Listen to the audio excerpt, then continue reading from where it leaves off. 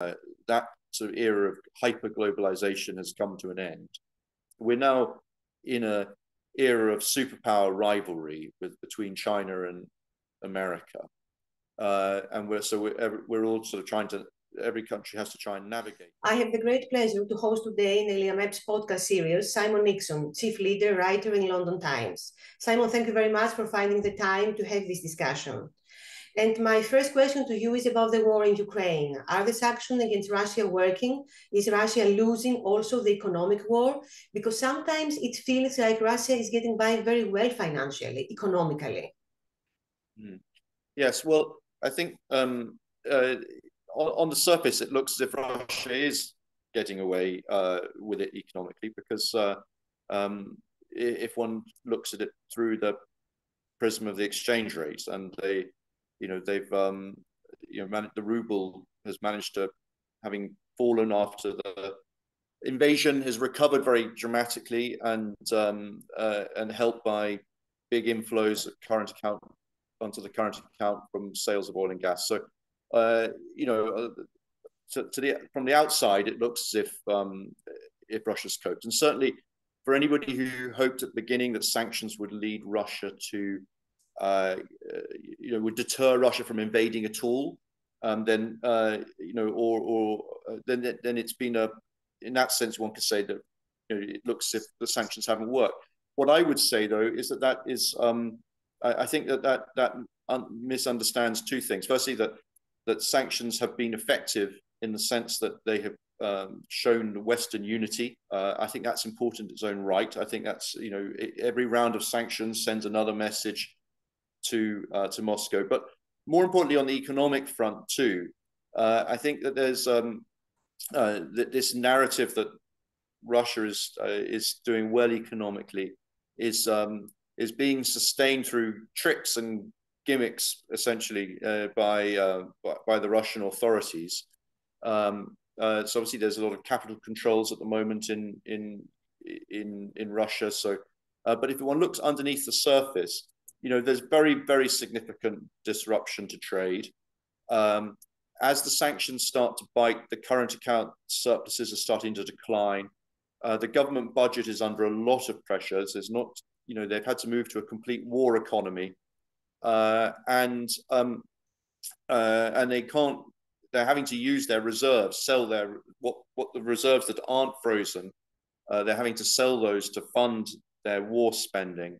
Um, and so uh, I think that you know the the sanctions are having effect in long term degrading of the Russian economy and and uh, its ability to continue fighting the war. So I'm certainly not suggesting that um, that, uh, that that Russia's and you know it's a big economy that it's about to be you know that it's about to collapse in any way. But I think it's there is a it's a, it's becoming the sanctions are making are a constraint on Russia's ability to to to continue to fight the war in the way that it would um, want while maintaining public support. That it, is having an impact, impact on people in Russia and on the government's ability to to finance itself. So I think that uh, you know it was always going to be a long process of um, uh, of sanctions to have that impact. I think it is having an impact. I think the West shouldn't lose heart over that many people now are beginning to talk, many discuss about the necessity of ending the war.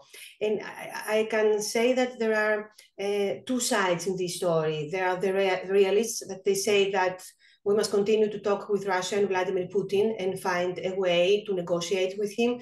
And the other ones that say that we cannot negotiate with Vladimir Putin, and that must be a decision of, um, of Ukrainians, how they're going to deal with that. And as long as Vladimir Putin is the head of Russia, that would be impossible. Do, do you see at any point having negotiations with uh, with Putin at this moment or uh, ending the war? No, I don't see it. I mean, I don't see how. I mean, I mean, firstly, I think that uh, uh, I totally agree. I totally think it, it has to be a decision for um, for the Ukrainians. Um, uh, you know, at the moment, um, any uh, any negotiation, you know, at the moment, you know, it seems to me that the first would have to that allowed Putin to keep the territory that he's acquired would be you know, obviously a, a, a disaster for um, for Ukraine. Um, it, but it would also be disaster for the West because, um, or for the rest of the world, because it would be a completely, um, uh, you know, tear up the entire post-world, post post-war, post-Second World War global order um, if he, you know, if it was to happen. And also, I don't think any um, negotiation at the moment would even be permanent either, because um, Putin would re regard any negotiation negotiated settlement now as a as a uh, an opportunity to regroup and come back for more. And I think it would that Europe would then, um, you know, the Russian threat would not go away. So I don't think it's either possible from Ukraine or from the West point of view to uh, consider negotiations while um, Putin is continuing to occupy large swathes of Ukraine and showing no signs of willing to, uh, to negotiate on that score. So, so I think that for as long as the Ukrainians are want to carry on um, uh, fighting, the West must and has to carry on supporting them. I think that um, uh, that's um, I think that that, that I, I certainly think that's important. So now, if we see the, the, prolonging of the war and we see the energy crisis and prices soaring, which of course that is something that has begun even before the war. We saw gas prices uh, beginning to, to soar. Um, uh, how do you see Europe and United Kingdom facing? Uh, will we see a deeper recession? Will we see them managing more hardly as time goes by and as the winter comes? Of course, in United Kingdom, we already have uh, the winter. We don't have it uh, yet in, in Greece, but you have minus degrees and and snow. Um, so, do you think that uh, economically uh, things will get worse for Europeans and British people? Yes, well, well, obviously in in, in Britain we're already in recession. Um, that seems fairly clear, um, and uh, and and I think it seems fairly likely that um, that you know Europe will and possibly America too, uh, although that may be less so likely now with America. But but I think we you know we, um, I mean certainly it's a it's a huge economic shock. Uh, I think Europe in particular has done in the EU has done incredibly well in um, in securing gas supplies to get through this winter, um, and that's um, and, and also in reducing its energy usage. I think I'm I'm, I'm a, a, a, I think it's a, a shame to say that Britain has not done well in reducing its energy consumption, and it's taken until now for us to even start. It's only to even start a government campaign to reduce energy usage is only starting about to start this week. Um, so or, or, next week. So that's that's been a, a disappointment. But I think that um, uh, the, the, the economic challenge is um, is twofold for for Britain and for Europe, which is you know in the first place to deal with the energy shock itself and, and make sure there's enough supplies, and then secondly to deal with the consequences of the inflation uh, and ensure that the inflation itself doesn't become so embedded that it it um, undermines the economy in the long term. I think that, um, uh, and, and, and it's not clear yet how that will, um, you know, whether that, that second round affects how that will play out and how much, uh, you know, how much economic tightening will be required to, to deal with the inflation shock. But, um, uh, but I think that, you know, that it's, um, uh, I think there'll be a recession, but I don't think it necessarily has to be a deep one in in the EU. I think it will have to be, it'll may I mean to be deeper in Britain because we have our own domestic issues which are uh, slightly different. Well, and, and now I, I, want to ask you, uh, how much has Brexit damaged United Kingdom uh, economy? Uh, if uh, Brexit hadn't happened, would you be now in, in, in a better situation? Or has it affected Brexit everything from NHS I saw for the first time that 100,000 nurses eh, were on strike. And also we have so many strikes now. I mean, is that also um, something that happened because of Brexit, all those problems? And then was, of, of course, COVID, pandemic, and now the war. And everything has gone loose, I think, in, in United Kingdom. Do, do, you put Brexit in there in the if you think about it that Brexit has played a, a disastrous role or not? Yeah, well, I mean, I mean, I think Brexit's been a, been a central is is an important, very important factor in in the situation in Britain. You're right. We're we're having a a, a pretty difficult time at the moment, um, politically, economically. Um, uh, there's no doubt that um, that Brexit has very badly damaged, you know, has damaged the economy, um, as was always as it was always going to do. Um, you know, the uh, it, it's it's hit trade uh, badly, um, and it has uh, imposed a lot of costs on businesses um, who want to export. Uh, it's created regulatory uncertainty because nobody knows what the rules are going to be in the future. Um, and perhaps most importantly, from the point of view of the, the economic shock we're facing with inflation, it's um, uh, it's uh, it's it's contributed and much made much worse the labour shortages because we no longer have freedom of movement, uh, which is ironic given that freedom of movement was one of the issues that determined the Brexit result. People wanted to end it, and now, of course, it lies at the heart of our economic problems that businesses can't find enough workers. Um, and so the economy we've had, you know, uh, so the supply side of the economy has been badly hit, and that's a, lies behind a lot of our inflation problems. So, so Brexit's been an important issue, but as for the strikes, I mean, they're also related to Brexit in the sense that uh, that in the aftermath of the global financial crisis, the Conservative governments starting in 2010 imposed very, very tough austerity on the public sector, uh, starved, of you know, uh, and instigated pay right, pay freezes, hiring freezes, and so we had a very under resourced, underfunded private public sector. Uh, and then after Brexit, because the economy was being hit by Brexit, um, you know, taxes have had to go up and governments find it harder to balance the books.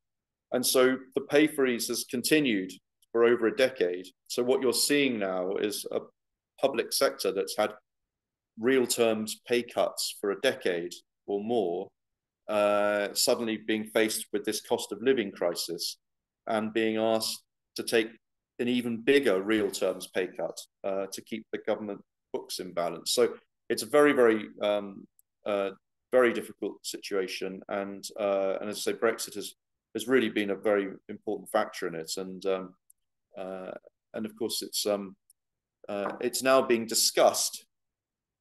Uh, at least in the media, and it's becoming much more, you know, openly discussed, and in business, are becoming much more open about it.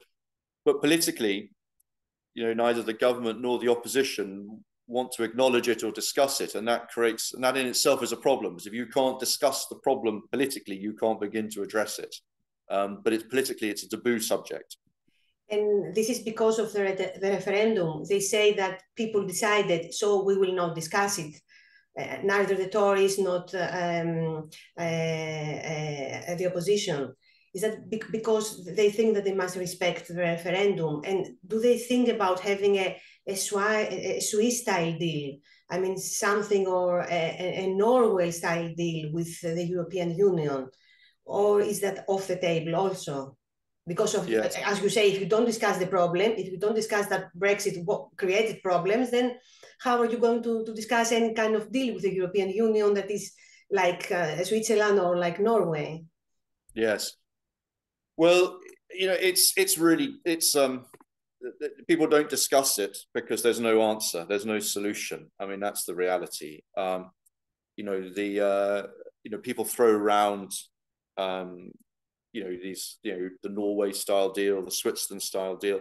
We've been discussing this now for six years, coming up, you know, um, more than six years now, uh, and uh, but the reality is that um, uh, you know that there's no appetite or political possibility of rerunning the referendum, um, and um, uh, but the um, you know, but it's it's not it's really not feasible for uh, a country like Britain to get into a Norway type type deal um, where you know it's a rule taker. Um, for I think for economy this size, that's just not a realistic proposition. uh, you know, a Swiss style deal, well, it, that can mean various different things to different people. You know, if it means just sort of small incremental deals to try and improve the situation, then then obviously that's a would be a sensible strategy. But you know, if it means sort of you know literally a Swiss style deal whereby one tries to essentially recreate customs union and single market membership through big side deals, well, that's not something the European Union wants, um, let alone Britain. So, so I think we're stuck. I mean, the reality is we're stuck. Uh, the first and most important issue is to try and resolve the Northern Ireland issue, which was always, which was never discussed in the referendum, but was always the single most, always going to be, and has been the single most difficult issue. There's some optimism around at the moment, you know, in briefings that maybe a deal there is coming soon. I I, I will always be skeptical uh, because I think you know it's so hard to bridge the differences.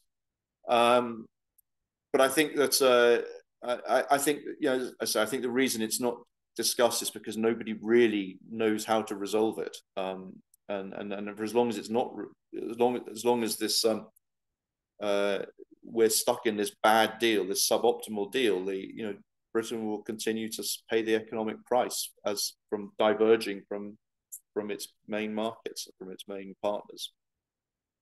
So you told me before that um, there were pay cuts and for, for 10, 12 years, uh, people suffered from pay cuts and all that. Now we have the elevated prices, higher interest rate in the house market.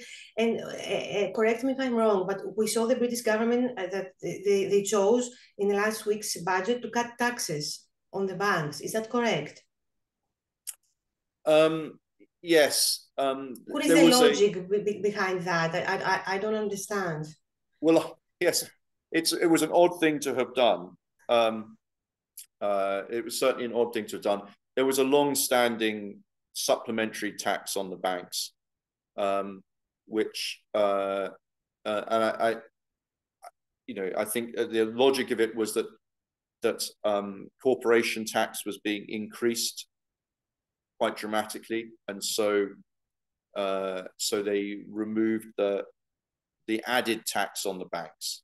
But it was um, uh, so you know, I mean, uh, I thought it was an odd thing to have done because um, you know for very technical reasons, which is that um, at the moment the government is having to pay is having to the, the, the government is having to pay very substantial amounts of money to the Bank of England for to, to cover the losses on all the bonds that were brought under the QE program. Uh, and so, uh, you know, keeping the tax would have been a sort of windfall tax to try and reimburse to cover the cost of finance the Bank of England. But for whatever reason, you know, the government decided to to not do it. Maybe it felt that going into what could be a deep recession with house prices falling, they needed to protect the banks. I mean, I don't believe that was necessary, but you know, it was an odd thing to have done. I agree. okay, and my last question to you is: You recently wrote that China's dilemma over COVID could spill into a worldwide trade war. What do you mean exactly by that? Why could that happen?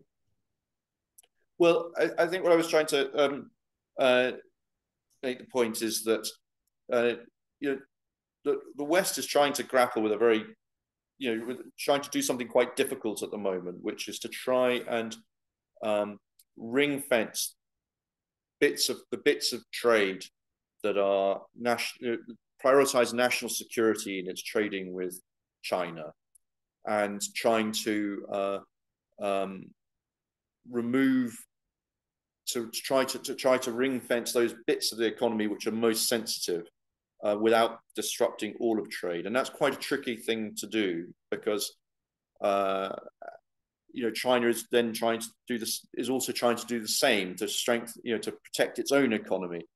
And the danger is that, you know, you, we, I mean, we're, I think we've moved from, we've essentially, we have to say that I think the era of globalization as we used to know it, of the rules based system, is essentially um, uh, that sort of era of hyper globalization has come to an end. We're now in a era of superpower rivalry with between China and America, uh, and we're so we're, we're all sort of trying to every country has to try and navigate that. Um, but and the, the danger is that that rivalry will now play out in every single sphere of activity, and you know so everything from finance to energy, resources, uh, polar exploration, space exploration, everything you know, that, and, the, and all of those rivalries. There's a danger that they could all of them could spill over into conflict, and but I think that the what one um, what the both sides need to try and avoid doing is allowing that rivalry to turn into a cold war, and that would be ruinous for uh, for everybody.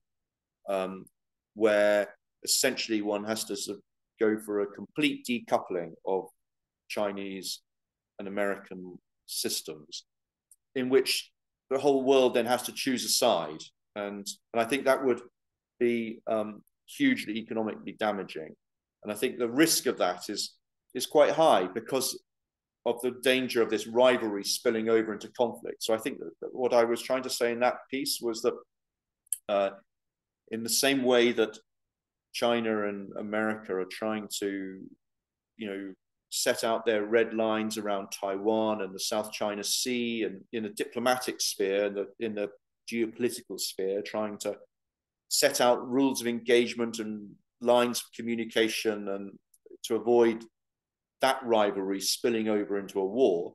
I think in the economic sphere, the West and China have to do the same thing. Have to try and work out what the new rules are going to be for this new trading system in which both sides want to protect their legitimate national security interests in the economy, which may mean decoupling in areas of technology, but without allowing that to spill over into a Cold War that would then become very, very destabilizing and economically damaging for everybody.